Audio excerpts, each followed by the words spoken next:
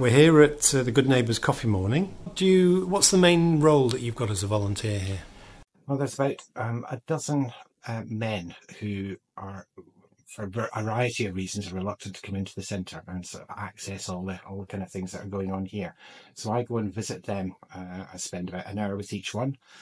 Uh, I'll visit them in the homes. Some some of them I'll meet in local local coffee shops, uh, and my job really is to keep them company, uh, help them with any any any tasks that that need doing, trying to encourage them to get out to access uh, things that are going on in the community. It's about, there's about a dozen at the moment. And how often do you visit them? Uh, so some some some people I visit uh, twice a week, but the majority it's it's once a week for about an hour an hour pop. I love it. Uh, I've been retired for about four or five years, and as usual, when you retire, there's all these things that you want to do, which I'd done, and then I was just sitting around.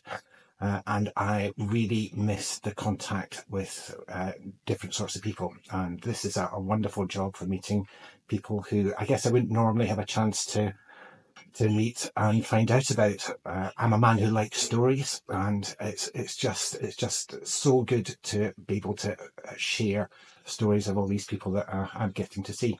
Some people are quite capable of making their own cups of tea and will offer me, uh, are, are, quite happy to make me a cup of tea. But for some, yes, uh, I'll make a I'll make a brew. It's, it's, it's just part of what I'll do when I go in and see a particular person. Uh, for some, there's uh, some practical tasks that, that might need doing. So I might help to take take rubbish out to the bins. I might nip to the local shops uh, to top up for them. Uh, but most of it is is is talking. Is just is just chatting. The one the one common thing about all these people is that they're is that they're all very different. Uh, so it depends on the person. It depends on on the mood that they're in. Some people perhaps uh, there's somebody I see who perhaps hasn't seen anybody else in the whole week, and so when I come in, they just want to talk, and there's just like an hour of talk comes out of them.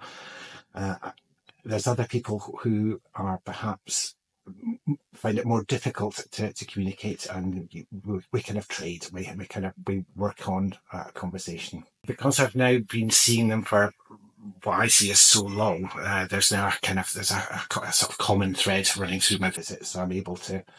Uh, there's often things that we've talked about or tried to, to plan. Uh, so there, there, there's the kind of that that kind of leads us leads us through usually. If um, somebody else was thinking of getting into this, how how would you suggest they do it? I would suggest that they contact Chorlton Good Neighbours because um, it's what a wonderful hub it is. There's so many things that are that are going on. Uh, visiting one to one might not suit suit everybody, but there's plenty of opportunities within Chorlton Good Neighbours to to work with groups of people uh, and doing very different things. It's never dull. Uh, let's let's put it like that. There's there, there's always there's always something.